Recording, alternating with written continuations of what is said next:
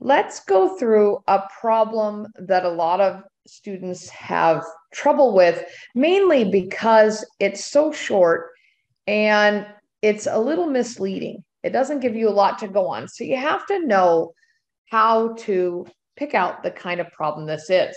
So this type of problem is a pH of a weak acid. Now, a lot of times that you're not going to be told that.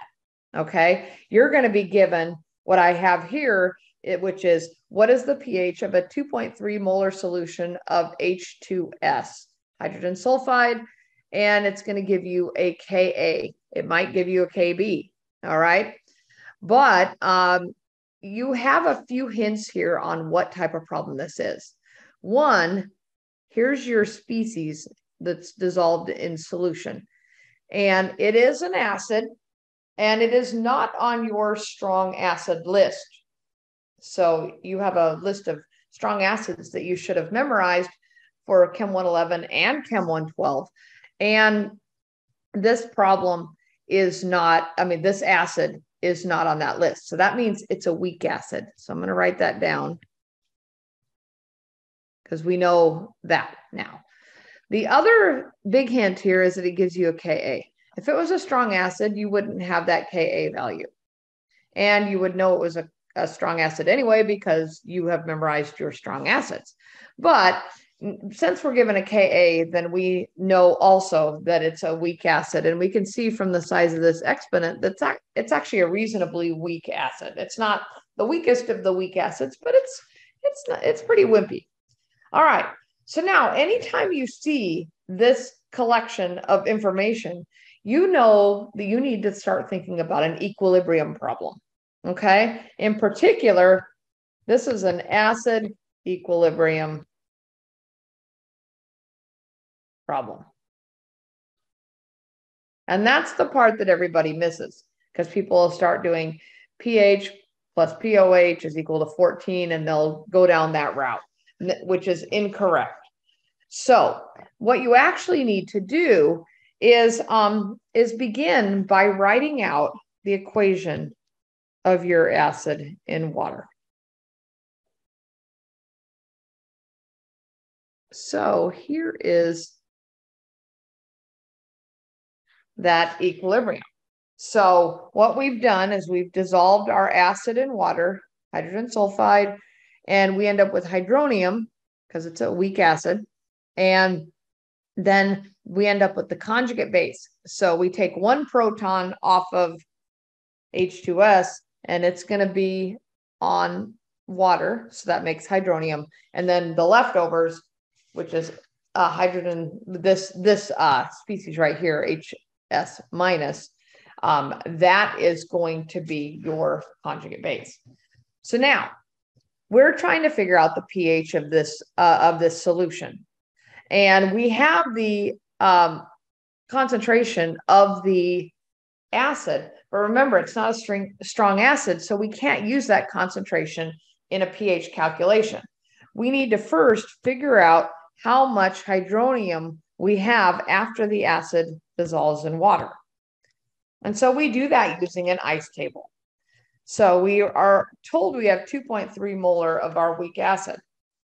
Um, now, this is before it dissociates at all. So we're just assuming this is, you know, you put it in water in that split second or split nanosecond, um, it, and nothing has happened yet.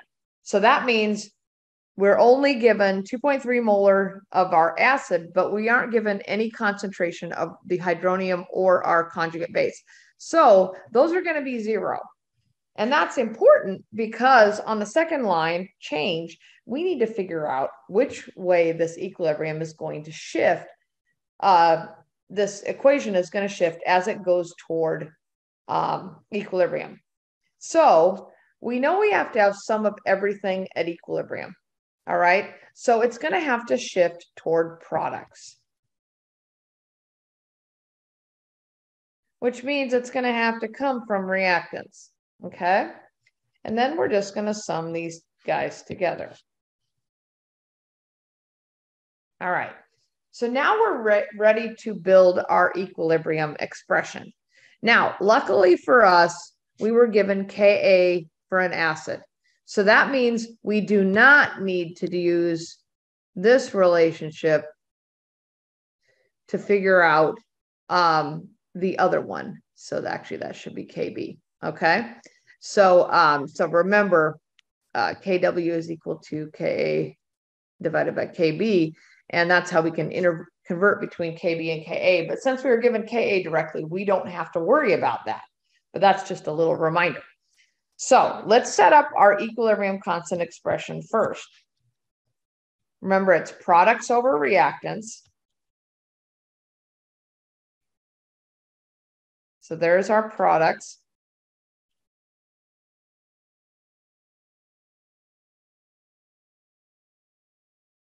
And our reactant is the hydrogen sulfide. And remember that uh, that pure water will not show up in the equilibrium expression. Okay. And uh, so now we're going to fill in our values from the table. So it's going to be x times x over 2.3 minus x. And then we just need to set that equal to the Ka value that we were given. So I'm going to do that right here, 1.19 times 10 to the negative 7. And that's going to be equal to x squared over 2.3 minus x. Now, there's another thing we can do here. And this is going to help simplify our math as we're solving this. So x is going to be really small because this uh, our equilibrium constant, the Ka value is very small. It has a small exponent. So that means we can assume this is negligible or zero, okay? And that gives us a much better equation to solve.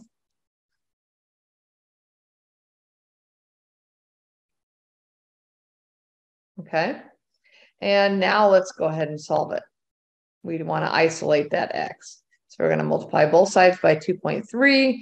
That's going to give us 2.3, 1.19 times 10 to the negative 7. We're going to multiply those two guys together. It's going to be equal to x squared. Um, let's do that multiplication. Now we have 2.737 times 10 to the negative 7 equals x squared. We're going to take the square root of both sides, and we're going to end up with x equals 5.231 times 10 to the negative 4. Okay. And now we have a number. So now we have to think about what that number means. So if we go up to our, our equation up here, remember our goal is to calculate the pH and that's equal to log of the hydronium ion concentration. And if we look up here in our equation, that X value is hydronium. Okay, so that's good. So that means if we want to calculate pH, which we do, because that's what the question is asking us, let's go ahead and go over here. And we have pH equals to equals negative log 5.231 times 10 to the negative 4. And that pH is equal to 3.28. Now, pH is a logarithm, so that means the sig figs are going to be the number of decimal places. Our original value for the acid, 2.3 molar, so that's two sig figs. Our Ka has three, but since we have uh, two sig figs for the uh, 2.3 molar concentration, we have to go with that. So we end up with two decimal places for our pH.